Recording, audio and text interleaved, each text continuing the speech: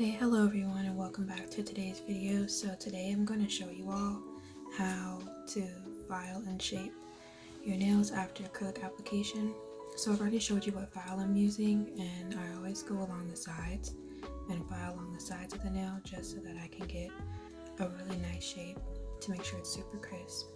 You also see me going over the top of the nail with the hand file just to remove any bumps or lumps as when the nail is longer it's a little bit harder to smooth out the nail with the electric file so that's why I recommend doing this step that you see here. Also be sure to file underneath the nail so that way the underside of the nail is nice and straight and free of any curvatures or divots.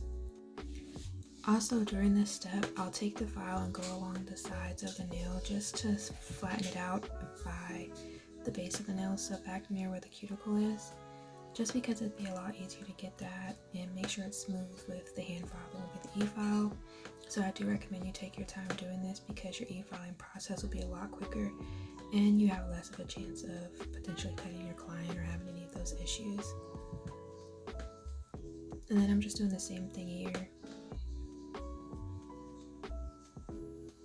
And please keep in mind for this video, it's just the um, hand filing process only, just because I kind of want to show you all my process and kind of what I do. Um, if you want to see the full e-filing process for this hand, be sure to check out the video that I posted before this one, as you will also be able to see my acrylic application as well as um, the crystal application as well.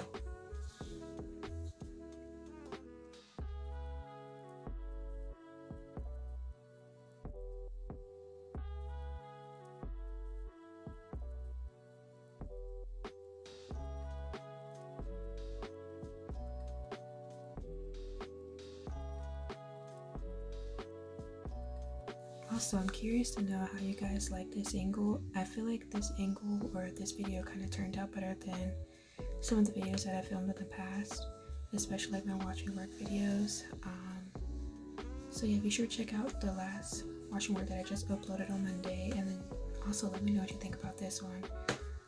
Because if you do like this angle more, I'll definitely be sure to try to film like this.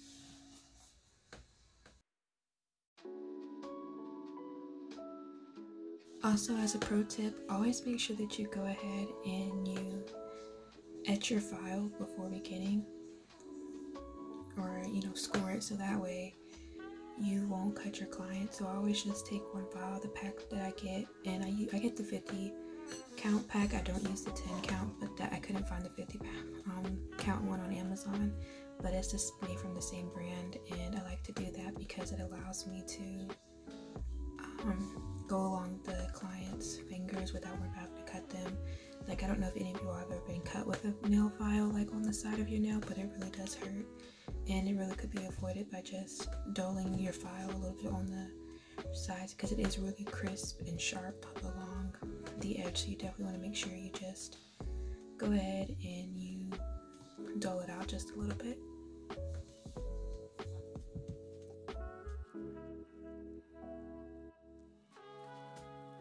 Uh, also, I did cover this in one of my other videos where I showed you on a practice hand highlight the file, but if you look at the nail and if you notice spots that you are hitting with the file in some areas but you are in others, that definitely means the nail is uneven and you should pay more attention to those areas specifically.